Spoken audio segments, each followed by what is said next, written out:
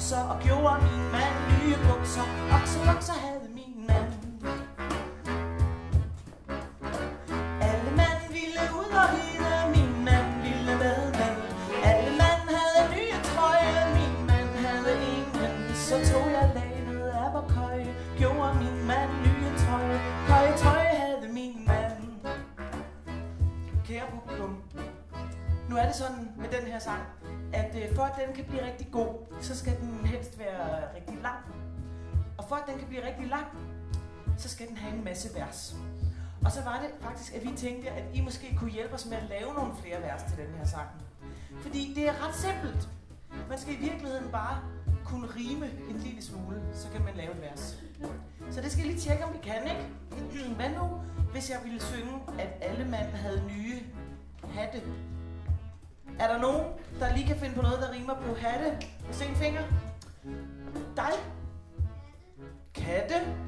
Altså, så tog jeg skinnet af en kat og lavede min mand en ny hat. En kattehat. Ved I hvad? I skal bare synge med på den her sang, for den er helt vildt nem at synge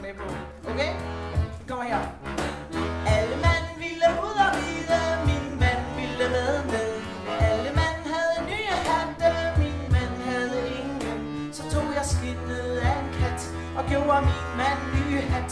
Kattehat havde min mand. Se, det var allerede et vers mere. Hvad så, hvis øh, alle mand havde nye øh, veste? Hvad rimer på vest? Hest. Skinnet af en hest. Okay? Er I klar?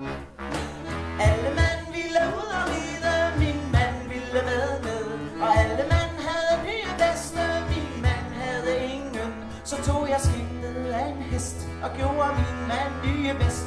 Hestevest havde min mand. Okay, I er faktisk ret gode til at rime, så måske kan I oven i købet selv altså bare finde to ord, der rimer på hinanden. Fordi så har vi et helt vers. Det behøver jo ikke at være mig, der bestemmer, hvad det skal være. Er der nogen, der har et rim? Det kan være hvad som helst. Det har du. Den er fin. Den er god. Sko og ko, den er god. Jeg kan nemlig også rime. Altså, skinnet af en ko. Det prøver vi.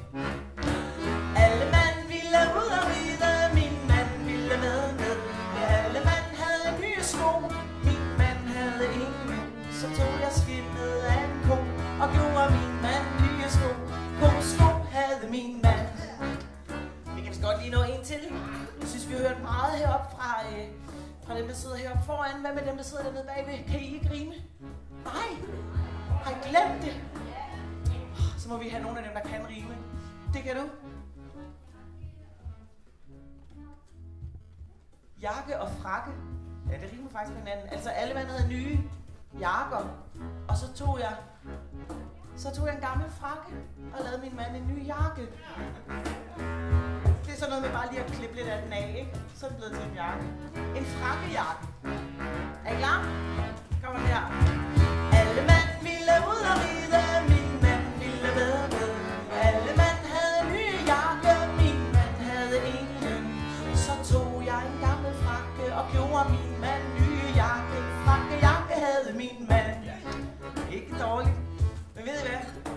Faktisk nået dertil, hvor det eneste vi mangler, det er et finalevers. Altså sidste vers. Og når nu I er så gode til at rime, ikke? så skal I få en rigtig svær en her til sidst. Vi har nemlig fundet et ord, som vi er ret sikre på, at I ikke kan finde på noget, der rimer på. Okay? Hvad nu, hvis alle mand havde nye handsker? Handsker. Hvad rimer på handsker? Det er nemlig rigtigt. Pansker. Det rimer faktisk på handsker. Men må jeg lige høre, hvad er pansker? Det ved du ikke lige? Men det er faktisk et godt rim. Skal vi se, om øh, der er andre bud? Panser. Panser. Hvad siger dommerne? Ej, ikke helt. Ej, vi er meget hårde. Vi er meget hårde. Hvad rimer på handsker? Hvad siger du? Spansker. Det, nå, det er nå, nå, nå, øj, øj. Hvad siger du? Mennesker.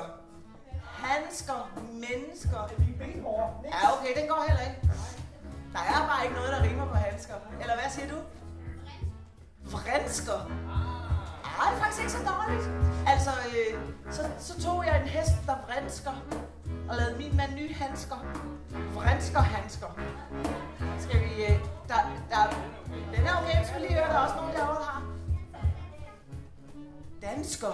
Handsker og dansker. Altså, så tog jeg skinnet af en dansker. Okay, vi bliver nødt til lige at have en afstemning. Skal vi tage en hest, der vrinsker, eller skinnet af en dansker? Jeg spørger lige. Vrinsker? Hvem... Øh... Okay, vi laver lige afstemningen. Hvem stemmer på vrinsker? Hvem stemmer på skinnet af en dansker? Ej, men det er svært at se. Jeg tror, det var danskeren, der vandt. Skal I synge med på det her splattervers? Det er nemlig finaleverset. Er I klar? Alle mand ville ud og ride, min mand ville med med. Og alle mand havde nye handsker, min mand havde ingen. Så tog jeg skinnet af en dansker og gjorde min mand nye handsker. Dansker handsker havde min mand.